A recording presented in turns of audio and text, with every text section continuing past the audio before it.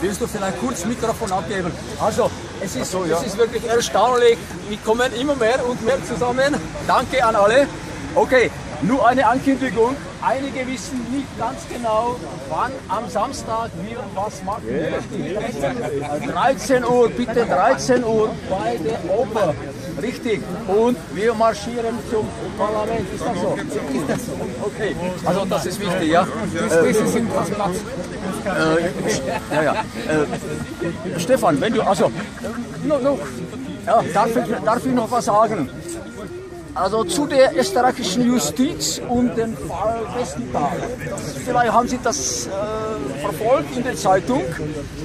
Der Westenthaler war damals äh, verantwortlich äh, und es geht um 2 Millionen äh, Euro, die er eigentlich äh, für die Jugendförderung im, Fußballverein äh, verwenden sollte. Und tatsächlich hat man alte Schulden von, von Fußballverband bezahlt damit.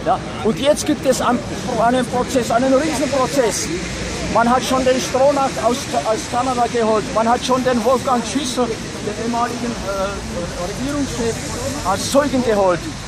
Und einmal muss ich dem Wolfgang Schüssel recht haben. Er hat gesagt, das ist dieser Prozess hat schon mehr als 2 Millionen gekostet. Um die 2 Millionen geht das.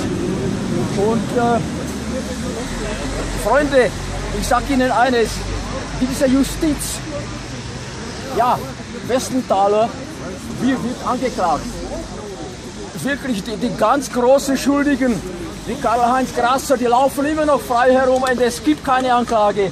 Also, ich, ich denke, die Justiz macht das so, dass sie in irgendeinem einem blöden Nebenfall wahnsinnig viel äh, investiert und dann natürlich kommt dann daraus, da der Westenthaler, äh, geborener Hoyasch, äh, wie, wie, gesagt, äh, ist unschuldig oder, oder es war nichts Großes. Und dann denkt man sich, naja, eigentlich die ganze schwarz-blaue Regierung war unschuldig, weil, weil in diesem, diesen blöden äh, Nebenfall äh, nichts, nichts, nichts drauf. Also, also, ich muss sagen, ja, die österreichische Justiz, da kann man gleich laut sagen, also, die sind alle so schwarz, die schon, schon mit, mit schwarzem Muttermilch eigentlich gestillt. Die kennen gar nicht anders als sämtliche schwarze Ex-Politiker und Politiker immer, immer frei zu sprechen. Okay, danke.